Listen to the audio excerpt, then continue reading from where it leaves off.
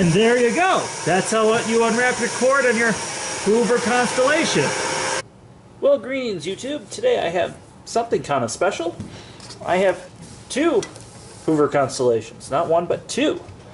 Um, we're going to talk about the vintage Constellation. Well, they're both probably vintage now. Because uh, this one's getting to be pretty old.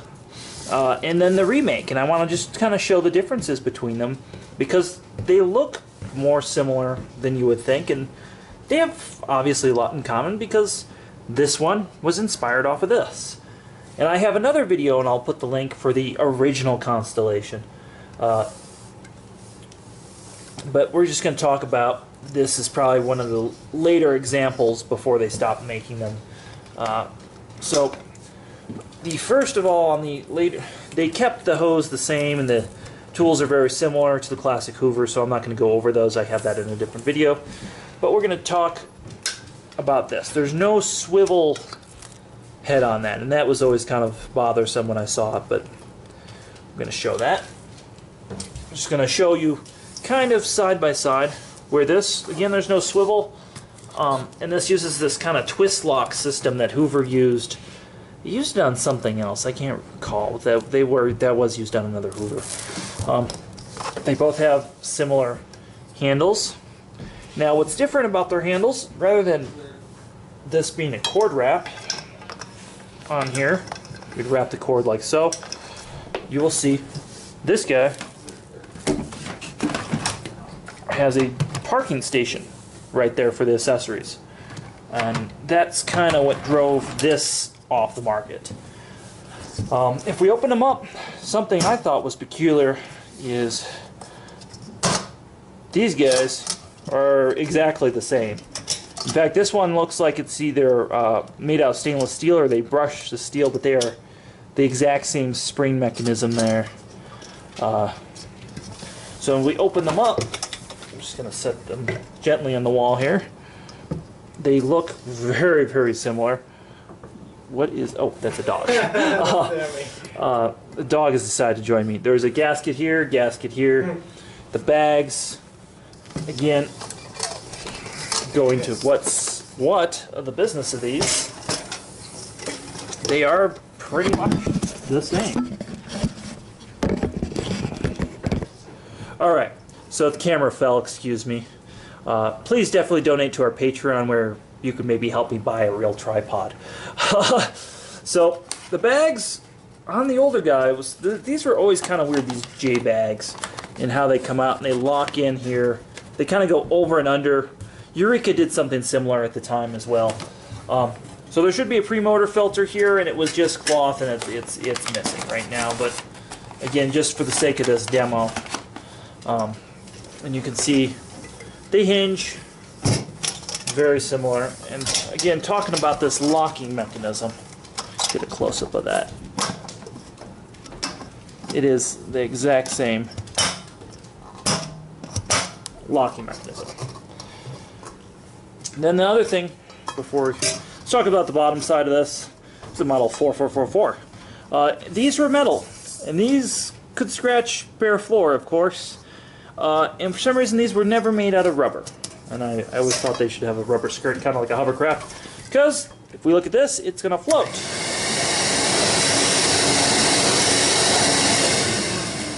Now, I think it's important to talk about the power difference between the two because that, that is a noticeable power difference. So I have here the only way to test the power difference, which is a working water lift gauge.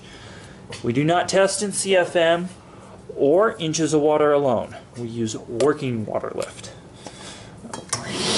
So, we are going to just show you. You see it? It's about 20.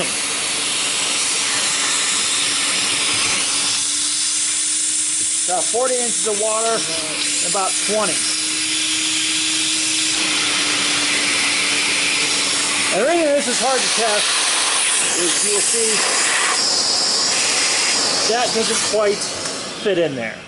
So we're at 2040 in terms of power. So let's put the vintage guy aside because there are plenty of other vacuum videos on him and he's cool. We'll save him for another day.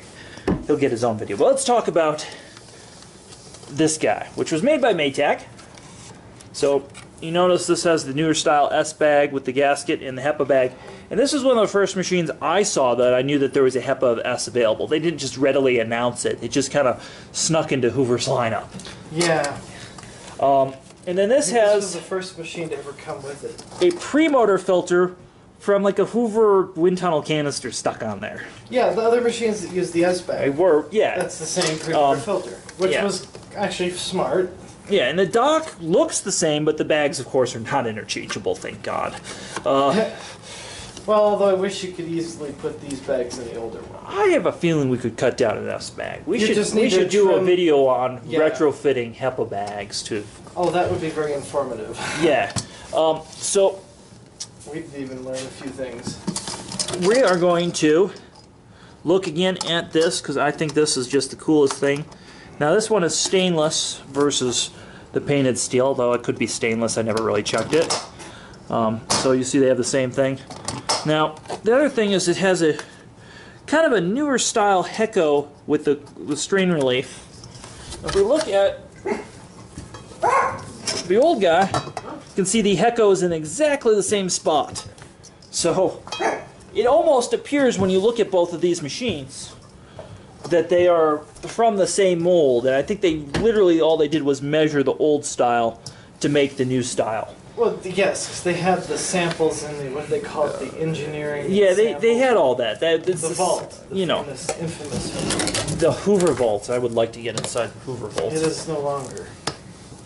of course not the chinese do not care about that anyways let's so let's measure its working water lift which is going to be a lot easier since this is standard inch and a quarter it'll make a seal this was also one of the first hoovers that used inch and a quarter attachments hey there and uh, i keep getting interrupted so i'm going to show you guys briefly what's interrupting me yeah Yeah, Sammy dog. uh, so that's the Come over interruptions here. So we're gonna we're gonna turn on this and we're gonna see what the gauge does.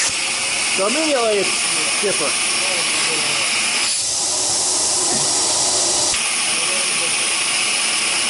Forty-one working water lift is really really good, and almost double what its predecessor had. So that's amazing and has a high-speed Chinese motor in it, flexible hose. Um, and the other thing that's different is this base is pla- hard plastic. I originally thought this base was rubber, but it's hard plastic, just something to note.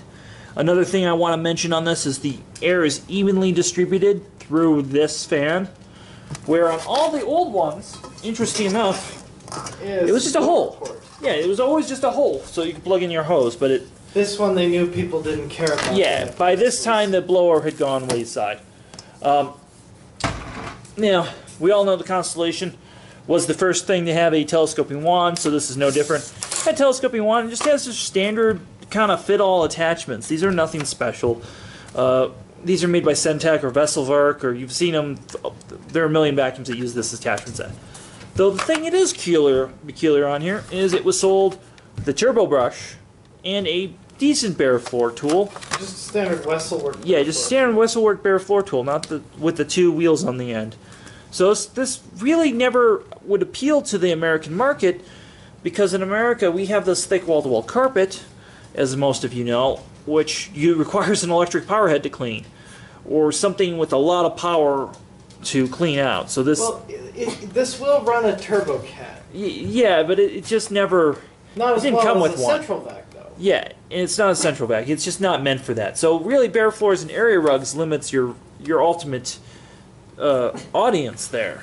Unless you wanted to use an upright on your carpet just for everything else. Yeah, and I guess if you wanted to do that, that would work. But you know, yeah. So another thing is this has the attachment for the hose here, and that what's peculiar about that is Miele does that overseas, but they don't do that here. But Hoover did it. Go go figure. Go figure. Maytag Hoover did. So we're gonna turn this on, and you can see it's not too loud. The other thing I want to show is where the attachment's at. So this guy, also, you could put your attachments right here. They also fit on the hose handle. Yeah, so you, you had a, a few ways of putting your attachments uh, on here as well. Really quite interesting. Um, and it, it's this is stainless steel. This has stood the test of time. They did make it in like a beige white kind of color as well. And these were just real interesting uh, vacuums for their time. Uh, in terms of what Hoover Maytag was doing, this is right, you know, right before TTI bought them. In fact, I think they discontinued it as soon as TTI bought them. Yeah. Um, so let's vacuum a little bit with it. It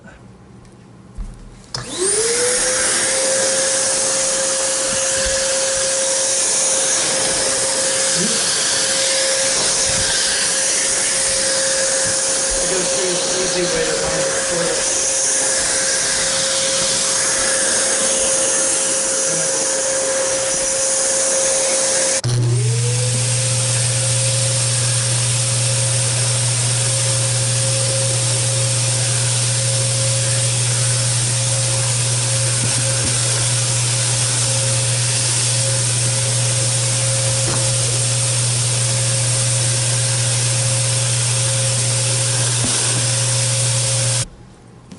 They both float.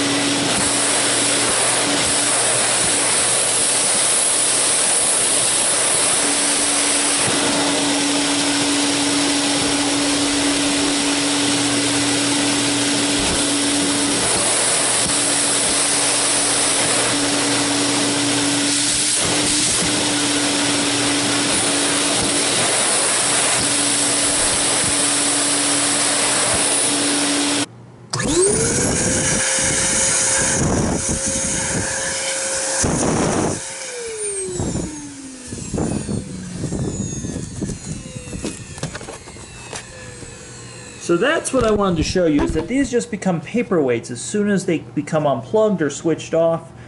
And that's where really the idea of a floating system is kind of flawed as you can see from the scrapes and scratches on this guy it's had over the years. Um, the other thing is that this can blow dirt away from the vacuum though if your floor is that dirty I argue argue that you should vacuum more often. So thanks for watching the video on our Hoover Constellation comparison. And please subscribe to my channel. Give this video a thumbs up if you liked what you saw. And definitely go check out our Instagram where you see lots of exclusive content.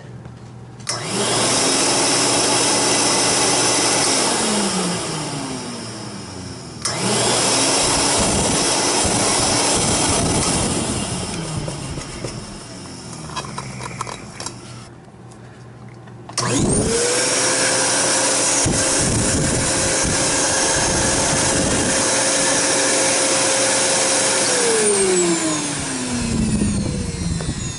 have a touchdown. The Eagle has landed. I'm sure the question all of you are asking is which one is faster? They're off!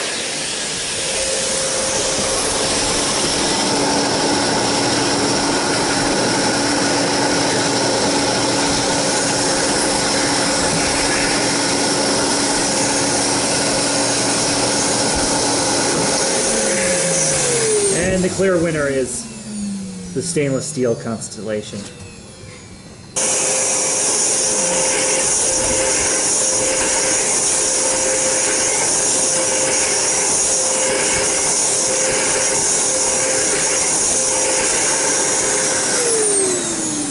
And that's why there's not a cord reel on here. Well, greetings, YouTube. Today I have something kind of special. I have two Hoover constellations. Not one, but two. Um, we're going to talk about the vintage constellation. Well, they're both probably vintage now, because this one's getting to be pretty old. Uh, and then the remake, and I want to just kind of show the differences between them, because they look more similar than you would think, and they have obviously a lot in common because this one was inspired off of this. And I have another video, and I'll put the link for the original constellation. Uh, but we're just going to talk about this is probably one of the later examples before they stopped making them. Uh, so, the first of all on the later, they kept the hose the same, and the tools are very similar to the classic Hoover. So I'm not going to go over those. I have that in a different video. But we're going to talk about this. There's no swivel head on that, and that was always kind of bothersome when I saw it. But I'm going to show that. Just going to show you kind of side by side where this again there's no swivel um, and this uses this kind of twist lock system that Hoover used. They used it on something else. I can't recall. That they were that was used on another Hoover. Um, they both have similar handles. Now what's different about their handles rather than this being a cord wrap on here you'd wrap the cord like so you will see this guy has a parking station right there for the accessories. And that's kind of what drove this off the market. Um, if we open them up, something I thought was peculiar is these guys are exactly the same.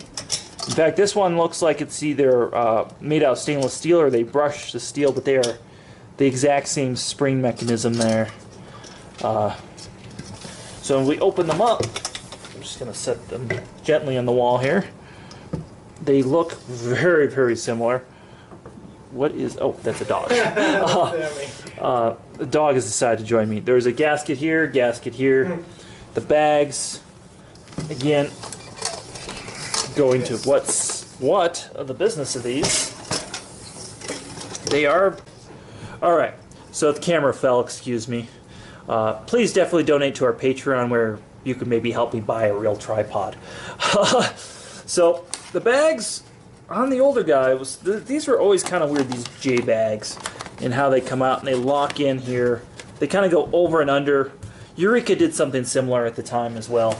Um, so there should be a pre-motor filter here, and it was just cloth, and it's it's, it's missing right now. But again, just for the sake of this demo, um, and you can see they hinge very similar. And again, talking about this locking mechanism, get a close up of that. It is the exact same locking mechanism. And then the other thing, before let's talk about the bottom side of this. It's a model 4444. Uh, these were metal, and these could scratch bare floor, of course. Uh, and for some reason, these were never made out of rubber. And I, I always thought they should have a rubber skirt, kind of like a hovercraft. Because if we look at this, it's going to float.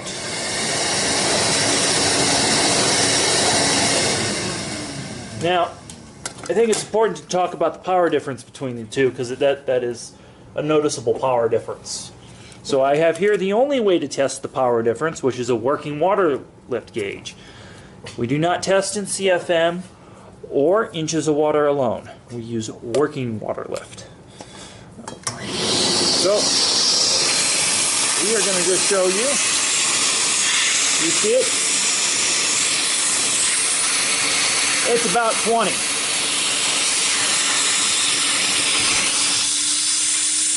About 40 inches of water, and about 20. And the reason this is hard to test is you'll see that doesn't quite fit in there. So we're at 2040 in terms of power. So let's put the vintage guy aside because there are plenty of other vacuum videos on him and he's cool. We'll save him for another day. He'll get his own video. But let's talk about this guy, which was made by Maytag. So you notice this has the newer style S bag with the gasket and the HEPA bag. And this is one of the first machines I saw that I knew that there was a HEPA S available. They didn't just readily announce it. It just kind of snuck into Hoover's lineup. Yeah. Um, and then this has This the first machine to ever come with it. a pre-motor filter from like a Hoover wind tunnel canister stuck on there. Yeah, the other machines that use the S bag. They were, yeah. That's the same pre-motor Um, filter, which yeah. was actually smart. Yeah, and the dock looks the same, but the bags, of course, are not interchangeable, thank God. Uh, Well, although I wish you could easily put these bags in the older one. I have a feeling we could cut down an S bag. We You should just we need to should do a trim- video on Yeah. retrofitting HEPA bags to Oh, that would be very informative. yeah. Um, so We've even learned a few things. we are going to look again at this because I think this is just the coolest thing. Now this one is stainless versus the painted steel, though it could be stainless. I never really checked it. Um, so you see they have the same thing. Now the other thing is it has a kind of a newer style Heyco with the, the strain relief. If we look at the old guy, you can see the Heyco is in exactly the same spot. So it almost appears when you look at both of these machines that they are from the same mold. And I think they literally all they did was measure the old style to make the new style. Well, yes, they have the samples in the what they call it, the engineering. Yeah, they, they had all that. That the vault. The you know, infamous. the Hoover vault. I would like to get inside the Hoover vault. It is no longer. Of course not. The Chinese do not care about that. Anyways, let's so let's measure its working water lift, which is going to be a lot easier since this is standard inch and a quarter. And it'll make a seal. This was also one of the first Hoovers that used inch and a quarter attachments. Hey there. And uh, I keep getting interrupted, so I'm going to show you guys briefly what's interrupting me. Yeah. Yeah, Sammy dog. Uh, so that's the Come over here. interruptions here. So we're gonna we're gonna turn on this and we're gonna see what the gauge does. So immediately it's different.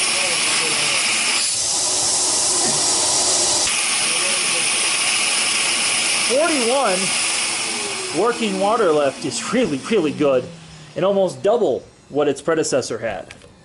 So that's amazing. It has a high-speed Chinese motor in it, flexible hose.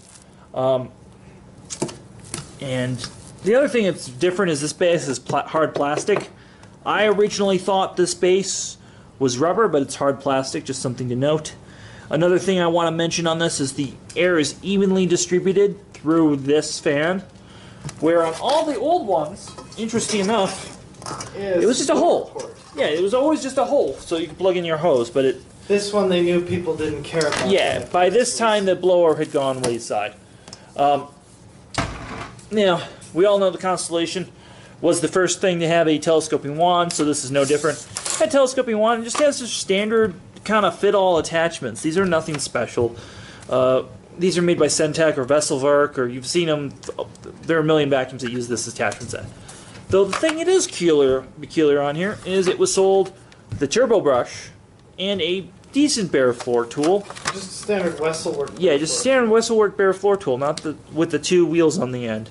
So this, this really never would appeal to the American market because in America we have this thick wall-to-wall carpet, as most of you know, which you requires an electric power head to clean, or something with a lot of power to clean out. So this, Well, it, it, this will run a turbo cat. y- yeah, but it, it just never.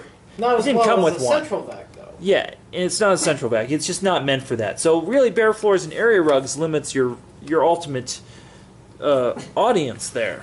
Unless you wanted to use an upright on your carpet just for everything else. Yeah, and I guess if you wanted to do that, that would work. But you know, yeah. So another thing is this has the attachment for the hose here, and that what's peculiar about that is Miele does that overseas, but they don't do that here. But Hoover did it. Go go figure. Go figure. Maytag Hoover did. So we're gonna turn this on, and you can see it's not too loud. The other thing I want to show is where the attachment's set. So this guy, also, you could put your attachments right here. They also fit on the hose handle. Yeah, so you, you had a, a few ways of putting your attachments uh, on here as well. Really quite interesting. Um, and it, it's this is stainless steel. This has stood the test of time. They did make it in like a beige white kind of color as well. These were just real interesting uh, vacuums for their time. Uh, in terms of what Hoover Maytag was doing, this is right, you know, right before TTI bought them. In fact, I think they discontinued it as soon as TTI bought them. Yeah. Um, so let's vacuum a little bit with it.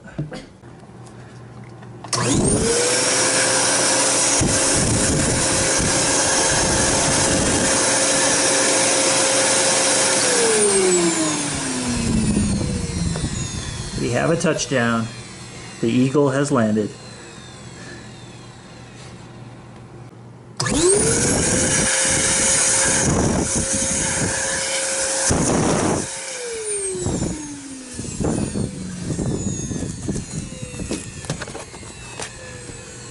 That's what I wanted to show you is that these just become paperweights as soon as they become unplugged or switched off. And that's where really the idea of a floating system is kind of flawed as you can see from the scrapes and scratches on this guy it's had over the years. Um, the other thing is that this can blow dirt away from the vacuum, though if your floor is that dirty, I argue, argue that you should vacuum more often. So thanks for watching the video on our Hoover Constellation comparison. And please subscribe to my channel. Give this video a thumbs up if you liked what you saw. And definitely go check out our Instagram where you see lots of exclusive content.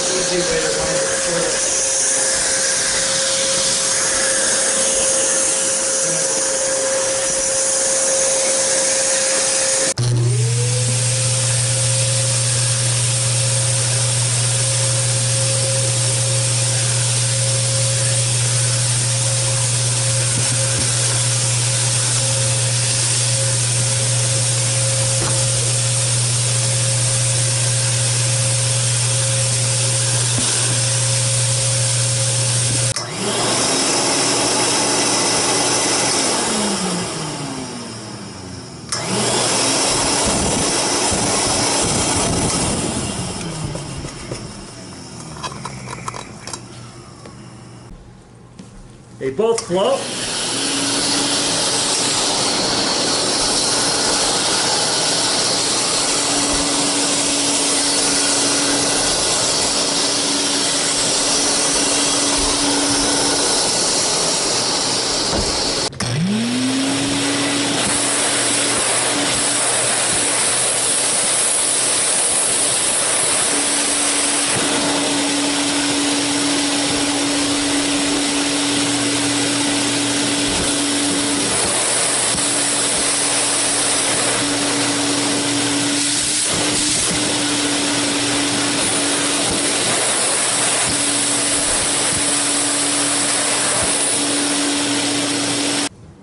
Sure the question all of you are asking is which one is faster?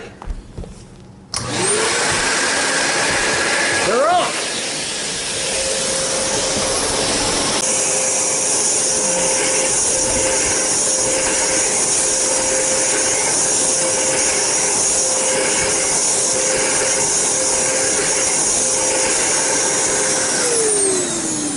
And that's why there's not a cord reel on here.